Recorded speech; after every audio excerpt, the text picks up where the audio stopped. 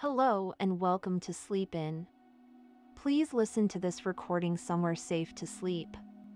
Take a nice deep breath in and let's begin. Mrs. Bullfrog by Nathaniel Hawthorne. It makes me melancholy to see how like fools some very sensible people act in the matter of choosing wives. They perplex their judgments by a most undue attention to little niceties of personal appearance, habits, disposition, and other trifles which concern nobody but the lady herself. An unhappy gentleman, resolving to wed nothing short of perfection, keeps his heart and hand till both get so old and withered that no tolerable woman will accept them.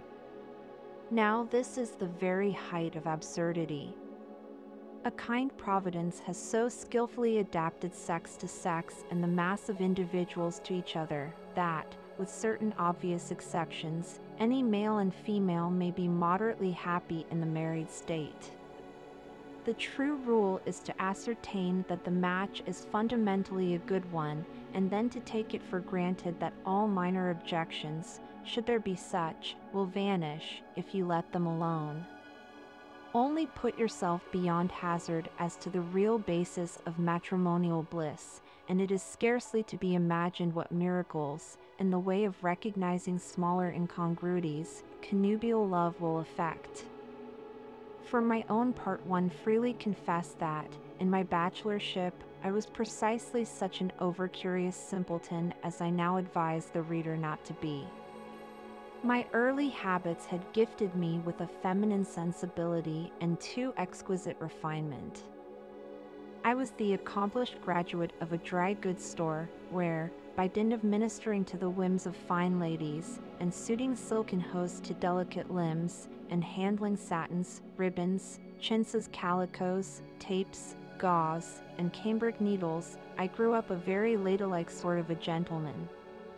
It is not assuming too much to affirm that the ladies themselves were hardly so ladylike as Thomas Bullfrog.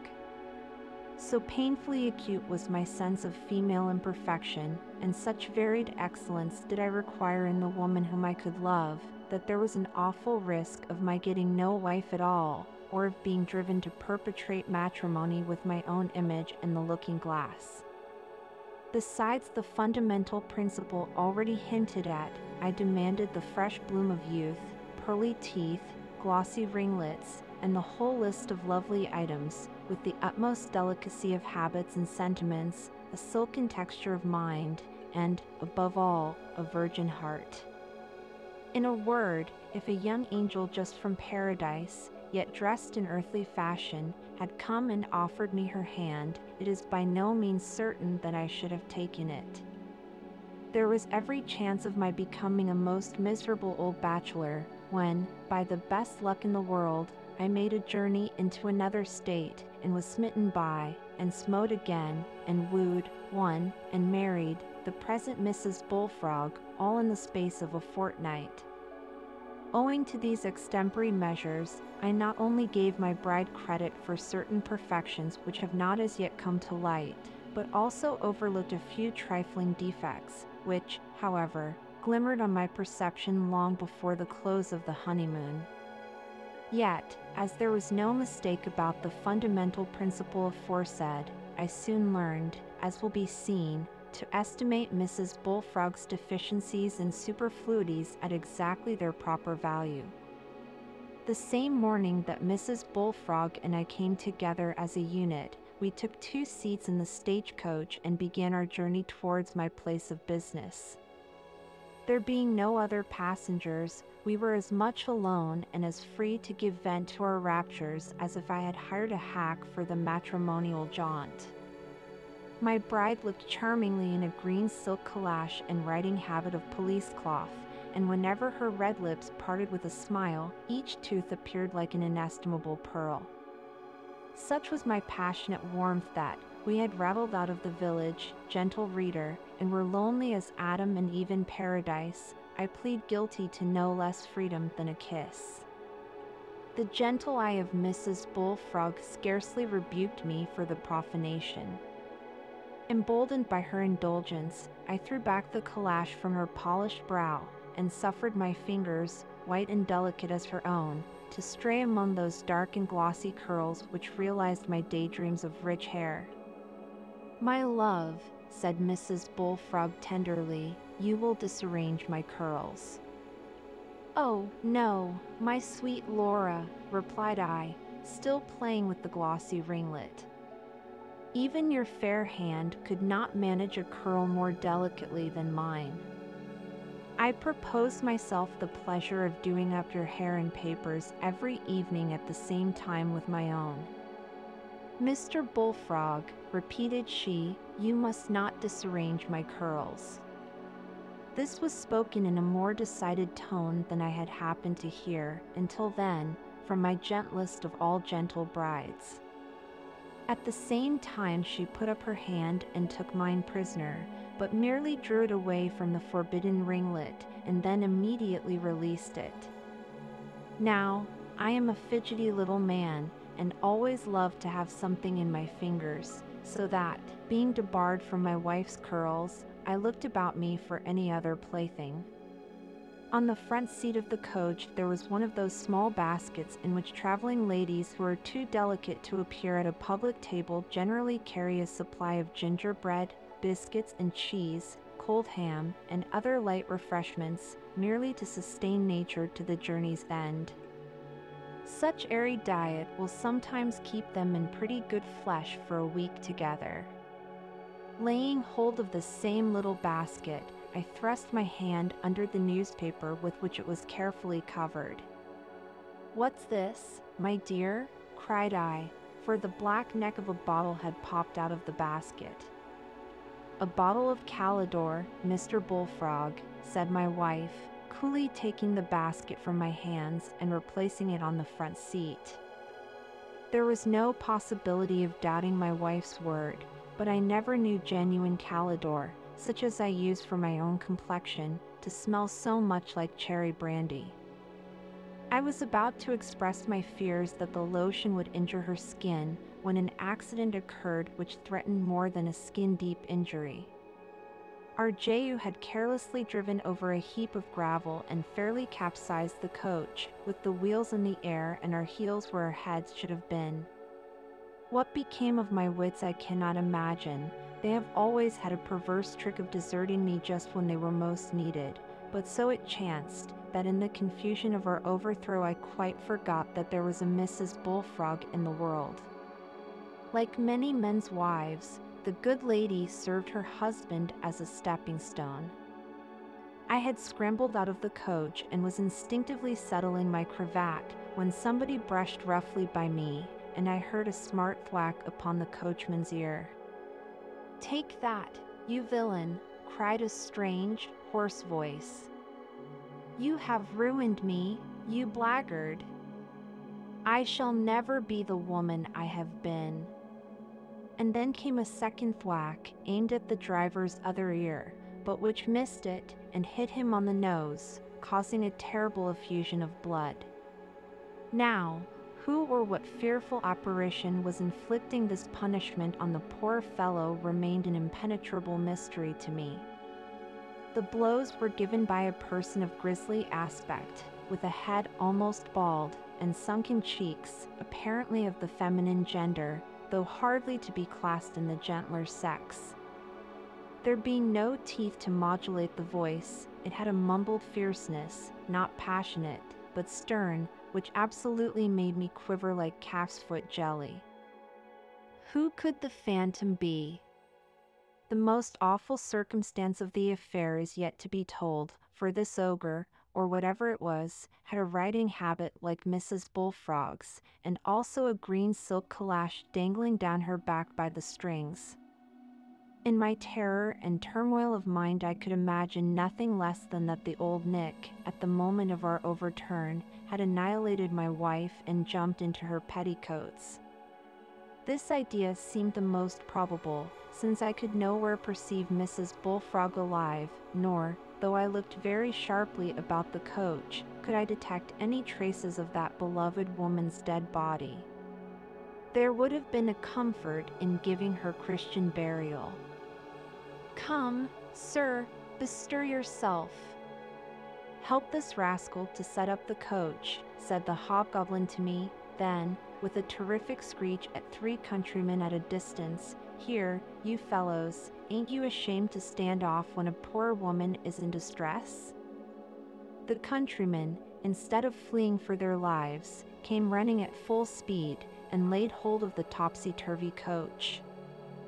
I, also, though a small sized man, went to work like a son of Anak.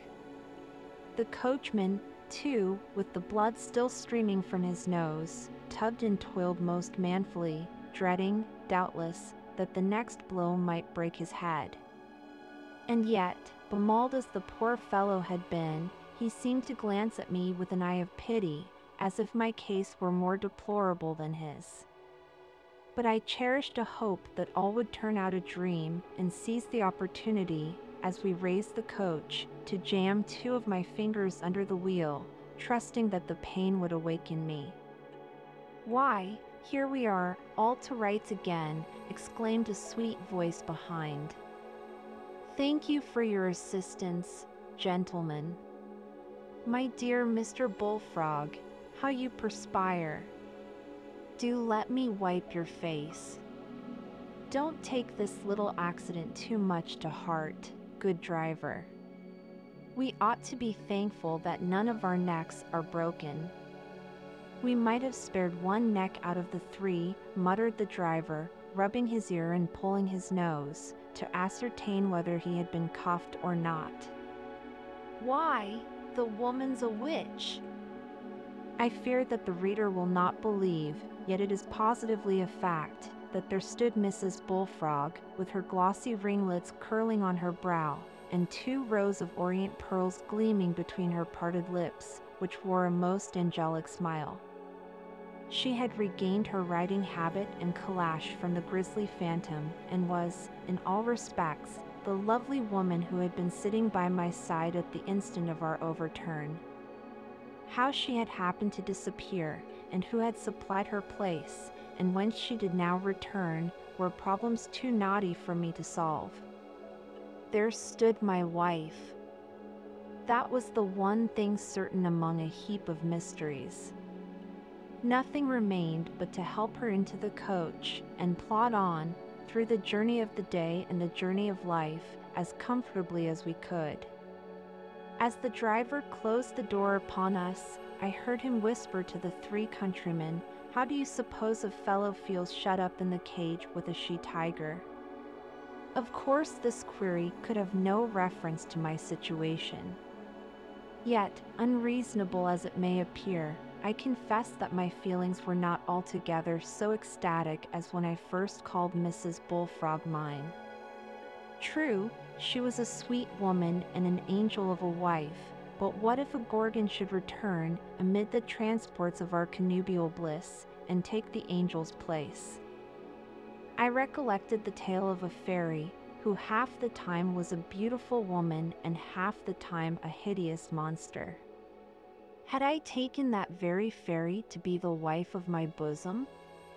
While such whims and chimeras were flitting across my fancy, I began to look askance at Mrs. Bullfrog, almost expecting that the transformation would be wrought before my eyes.